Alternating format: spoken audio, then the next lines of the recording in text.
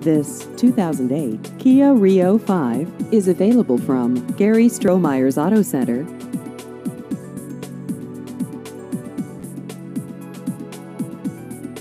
This vehicle has just over 52,000 miles.